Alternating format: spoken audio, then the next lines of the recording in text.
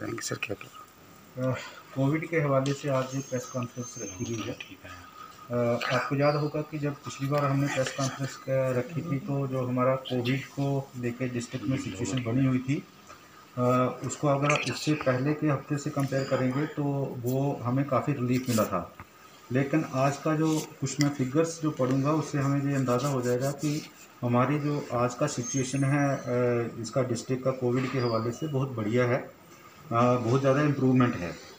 जहाँ मैंने नौ छः दो हज़ार इक्कीस को जो प्रेस कॉन्फ्रेंस की थी तो वहाँ टोटल जो एक्टिव केसेस थे हमारे पास, वो 973 थे, लेकिन आज वो घटकर 607 हो गए हैं।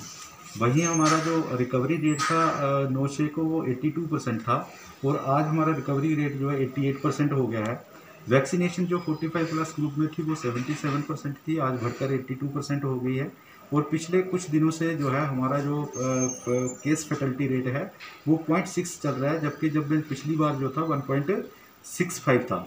और ओवरऑल जो हमारा पॉजिटिविटी रेट है, वो टू परसेंट के आसपास है।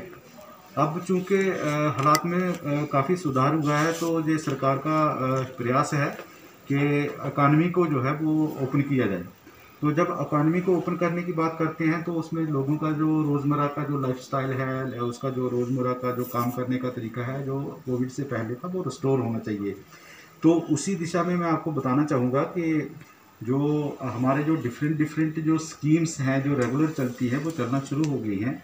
जैसे मिड डे मील स्कीम्स है, उसका डिस्ट्रीब्यूशन शुरू हो गया है। जहाँ राशन का जो राशन डिस्ट्रीब्यूशन था, जो दो महीने का सरकार ने अनाउंस किया था, उसमें भी हमें जो है पिछले महीने का हमने कोई 95 96 परसेंट की एलोकेशन जो है वो डिस्ट्रीब्यूट कर दी है और इस महीने भी हमारा जो डिस्ट्रीब्यूशन है 80 परसेंट से ऊपर हो गया है। उसी के साथ जो सरकार ने एक बड़ा अहम फैसला लिया था कि जो लोग कोविड की वजह से जो इस दुनिया में नहीं रहे और जिन, जिस फैमिली का सोल ब्रेड अर्नर जो है वो नहीं रहा इस दुनिया में तो उनकी जो फैमिलीज़ का है फैमिलीज़ की देखभाल करने का ड्यूटी एडमिनिस्ट्रेशन ने एक जमा लिया है। तो उसमें हमारे पास जो है वो कोई सतारह फैमिलीज़ थी, जिनके सोल ब्रेड अर्नर जो है उसकी डेथ हो गई थी। और उसमें दो किस्म के बेनिफिट थे, एक तो उनके दो बच्चों को स्कॉलरशिप था और एक जो डिपेंडेंट था उसको पेंशन थी फैमिली पेंशन थी। तो जहाँ तक फैमिली पेंशन का ताल्लुक है तो वो हमारे डिस्ट्रिक्ट में अठारह लोगों का एलिजिबिलिटी बनती थी। उनके केसेस हमने सबमिट कर दिए हैं। अगले महीने से उनको पेंशन मिलना शुरू हो जाएगी। और इसी तरह बीस एक जो है थे, उनके बच्चे थे, जिनको स्कॉलरशिप मिलना था तो उनको स्कॉलरशिप मिलना शुरू हो जाएगा। इसके अलावा हम देखते हैं कि फिर भी जो है हालात सुधरने के बावजूद भी कहीं ना कहीं जो है डेथ हो जाती है।